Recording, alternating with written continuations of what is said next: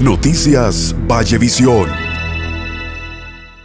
Hay que se metían y me llevan la tarjetita de la comida, de una fundita plástica.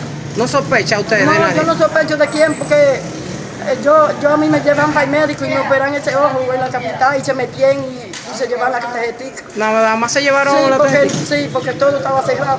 ¿En qué sitio sucedió eso? En el barrio Inca, Hay muchos ladrones por ahí. a- acabando con todo. Frente a la escuela, de, de, la instancia de la escuela, de los niños. Noticias Vallevisión.